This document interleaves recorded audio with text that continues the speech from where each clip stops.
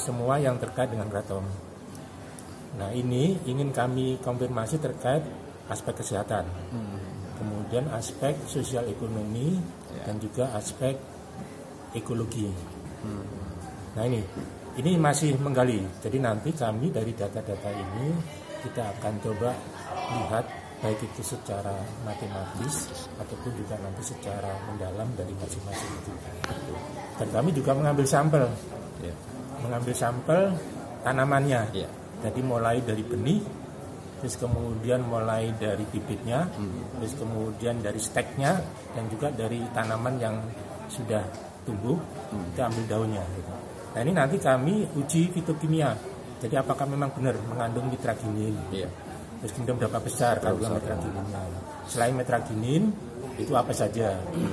Nah, terus kemudian kami juga uji toksisitas dan uji farmakodinamiknya.